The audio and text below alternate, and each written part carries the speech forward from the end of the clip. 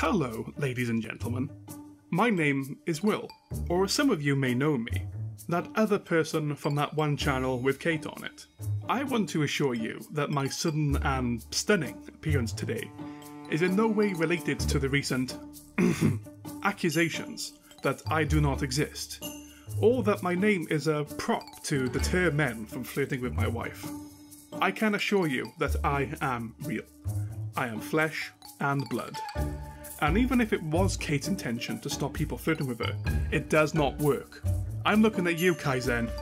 So hopefully today we can put an end to this Bielefeld-esque internet mythos, for anyone familiar with the conspiracy, that I am a fictitious character on this crazy little platform called YouTube. Now that we have that madness out of the way, in today's video, Kate is going to introduce you all to the wonderful crew of the Greg Burton. We do hope you enjoy, and if you have any questions for me, good luck trying to send them to me, because I don't exist.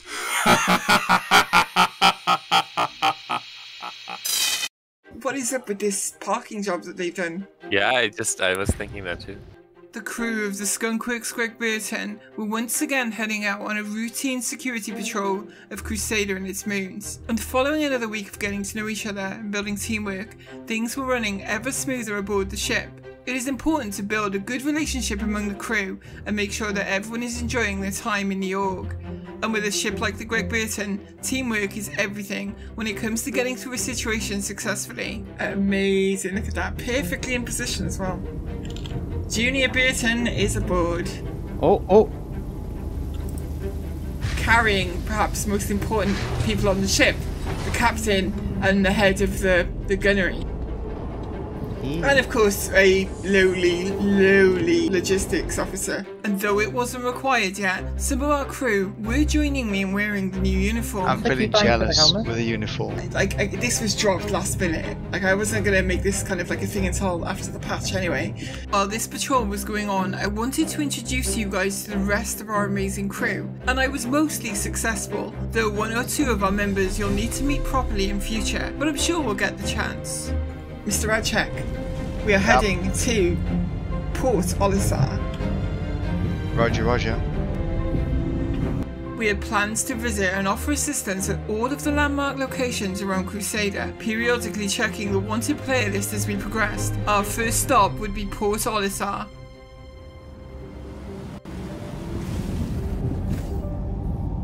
How are we doing, Rad? Cooking on gas. Excellent. On a normal day, the upper command deck is occupied by myself and our gunnery officer, Miss Bamboozlebat. Miss Bamboozlebat. Yes, Commander? What is your job here on the ship? Uh, I am the gunnery officer. I make sure that uh, we stay safe. And how long have you been part of Skunkworks?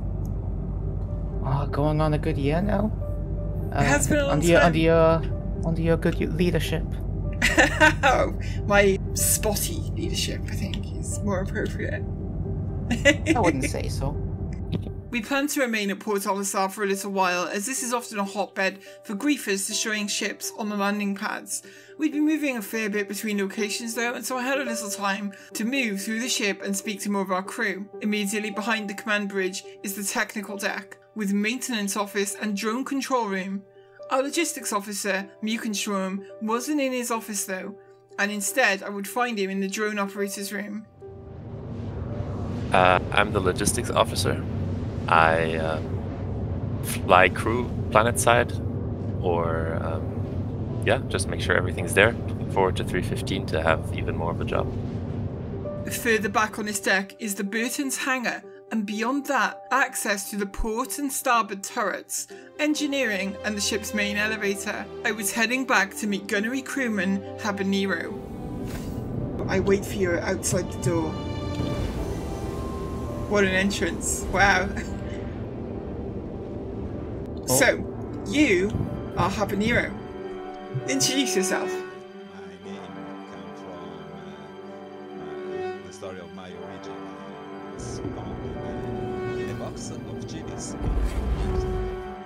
Chilies. Haber's voice was unusually quiet on this occasion, and it was hard to make him out. You were like super quiet for me. I've turned you up to 200%, but it's still very quiet.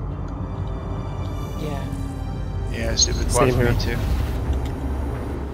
And while I wouldn't move all the way over to the port side turret as well, Gunnery Crewman Alpha would introduce himself. Hi, my name is Alpha, and I'm the port side gunner on the Greg Burton. Engineering access is also on his deck, with the engineer station and main engine room housing the ship's engines and all major subcomponents.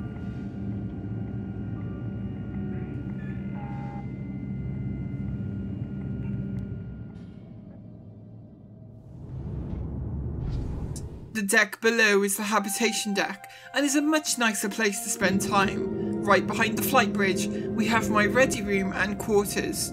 A nice relaxing office to call my own, adjacent to very comfortable living arrangements by Star Citizen standards, including a private bathroom. A little further back is the galley and the rec room. leading through to the crew quarters. Enough bunks and comfort for the entire crew. We've even made use of this space, bed logging to change servers as a crew. And further back we have the med bay, where our ship's doctor, Raz the Moon, spends his time. But I'd also bump into Bamboozle once again. Doctor? And, Oh. oh, hey, Bam- Bamboozle's getting a CAT scan. I approve. How are you two doing today, Doctor? Oh, just familiarizing, getting used to the, the Burton. This is this is where you'll be working from, doctor's office, with a good view into the medical room there. Are you looking forward to the changes coming next patch? That's the question. Very much so. It, it means a, a job and having equipment and stuff to store and things to do. Taking the main elevator to the subdeck, we find the ship's armory and the aft turret, where Gunner Sivan watches over the six o'clock of the Burton. Hey, I'm Sivan, and I'm the lower turret gunner for the Greg Burton. I protect the squishy underbelly. In the last training patrol, you guys got to know our pilot Radchek quite well, as he applied himself to a very intensive first time piloting the ship, and he continues to show great commitment in honing the skills required. Just looking for the mark, it keeps on dropping. Bamboozle, have your gunners completed a weapons check? Not yet, no. Okay. Is Everyone, everyone fire forward. Excellent. We are heading to do a flyby of Security Post Kareah, a very popular spot for criminals to clear their crime stat. But en route, we get an ECN alert about a ship under attack and requesting assistance. We've picked up an emergency distress call. There's an ECN broadcast 100,000 kilometers away, basically around another moon. I think we should respond. We'd need to reach the ship in distress before it was too late. Right. I remember from last time. I also think that given the nature of the ships we're going to encounter, focusing fire probably won't be necessary. And just have gunners go for whatever target is within their arcs. And we'd have an interesting encounter upon arrival at the signal. We got a target already. What is I that? don't know what. That's Is a that, is player. Player, okay. Give us a ping. Look like a Vanguard, maybe a Sabre. It's a Talon. It's a Talon. Oh, is it? Be on your guard, guys. But yeah, let's not let's not shoot any innocent people, obviously. Or if we do, let's make it a very limited number of innocent people. oh yeah, look at that. We have a talon just like floating around us. Help! Anyone! I'm under attack! Repeat, I'm under attack! A Contact. Starfarer. Yeah. Yeah. Yeah, just off Contact Be on positive. the lookout, guys. You are weapons free on any targets you see.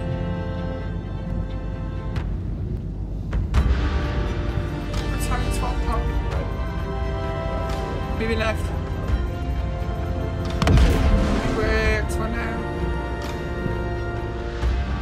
I guess we have fighter support. Looks like a yeah. Uh, concerned citizen, you know? We probably said, "Oh my God, it's the Greg Burton." Looking good so far. What kind of ships are you, are you encountering, by the way? Uh, Buccaneers. Okay.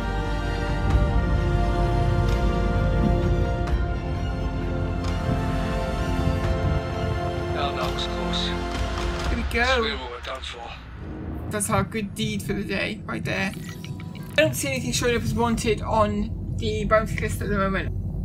We'll patrol back there. We'll stick around for a couple of minutes, see if we spot anything. If we don't, we'll come back here and we'll take something on in the ring. But I gotta keep you busy, Radchek. Gotta get my money's worth out of Pilot, you know. Does anyone have any targets? Nope. After returning to complete our flyby of Kareah, we were heading into the Rings of Yela again after some hammerheads. Would the Burton crew improve on their last kill performance? Now remember what we learned from before guys, we're going to take out any support ships that we find there first. And then we're going to move in and remember Roger, we're going to try and work our way into an orbit around the ship facing the target. Yeah, I see him. We'd arrived at the first target, but once again there was some strange activity already going on. Spotted. 8k and closing. See the hammerhead? The hammerhead's hammerhead's under attack. Hammerhead is being engaged by someone. Amazing. Or it's engaging. Yeah. Friendly attacking the hammerhead. Oh, what, what is that? I see something Yeah, it's that a friendly. What is it? It looks like a hurricane or a stalker. Maybe a hurricane. Okay, guys, here we go. Uh, two Valkyries are yes. Valkyries are enemy, yeah. Uh, one of the Valkyries just ate.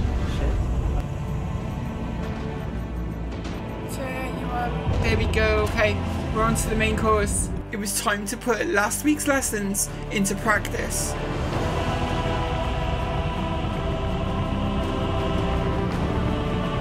Outstanding fire, look at that.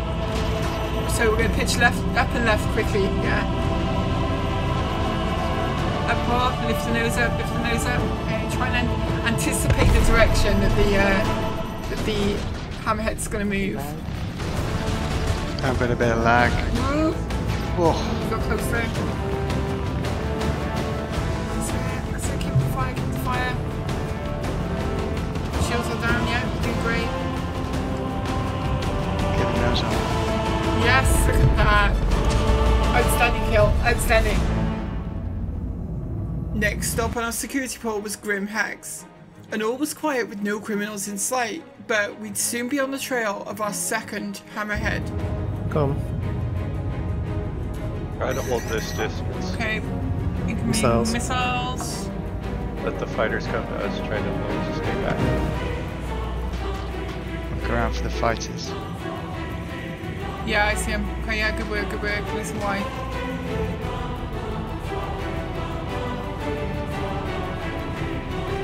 Going, good. Yeah, good work. Outstanding. The Valkyrie. Excellent, so fast. Good work, guys. Amazing. Get that nose on target. Yeah, rear shield and right shield are looking low. Nose on target, and we'll be good. Okay, that's it. Good work, good work. Okay, guys, light 'em up.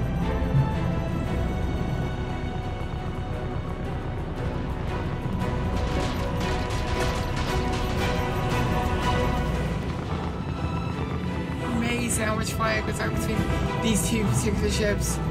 Pull that, bring that nose up a bit, bring the nose up a bit. At that going to get in on this. There we need to close the range. We're a little out Yeah. out of range.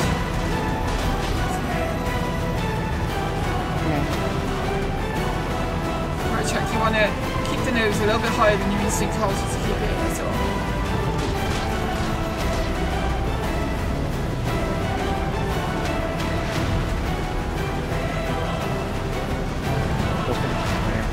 Yeah, keep it like keep that that, that level and I can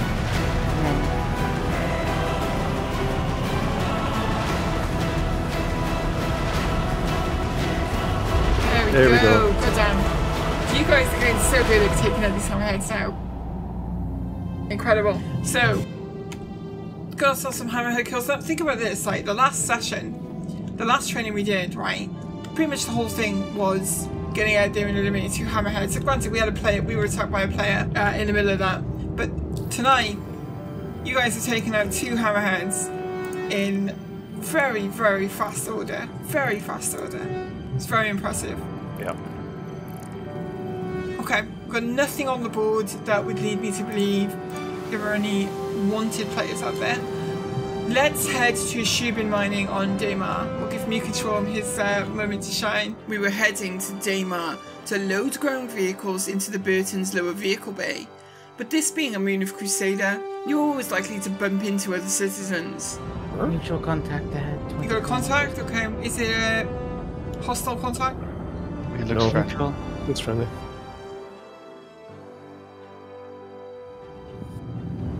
Oh, look, oh, yeah, I see a constellation down there. Leaving? Yeah, Connie's leaving. Off he.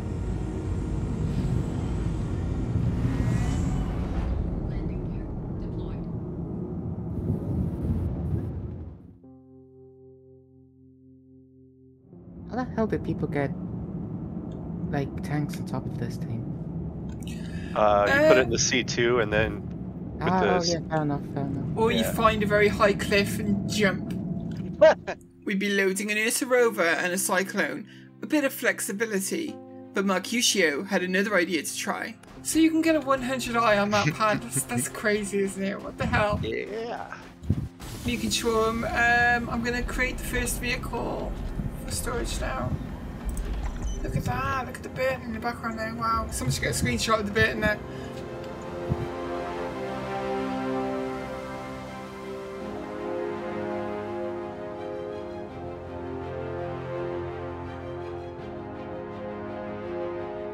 Thank you, and please visit again.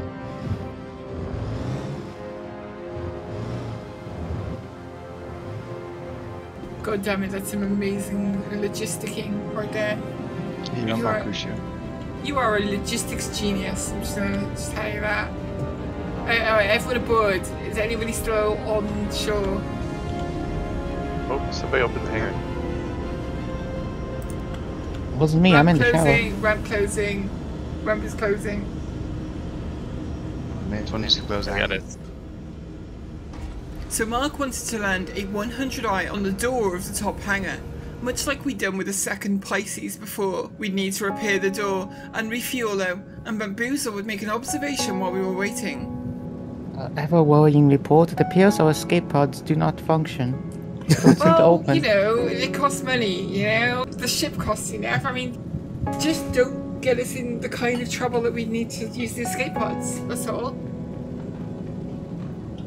One day, if you guys are really good as a crew, we'll get real escape pods, I promise. Sun is coming up as well. What have you?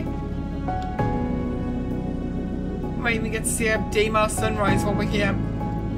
The refueling is extremely slow, and so checking for any signs of repair would be a good idea. Let me know. Um, you can, oh, actually, you go to the bridge. Go ahead. You treat yourself. Yeah, it's not it's not repaired yet. Oh, that is an amazing view. Observation.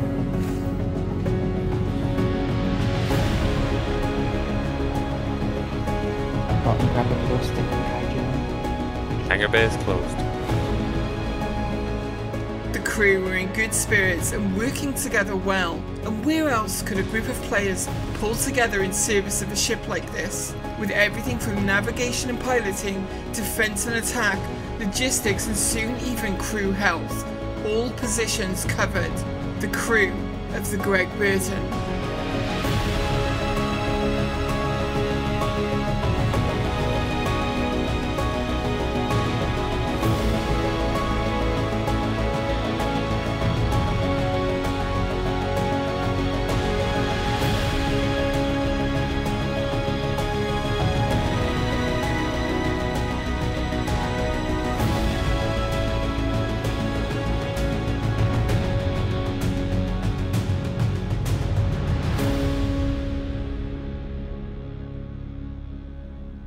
We'd be returning to Ambitious Dream at Crusader L1 following another successful patrol.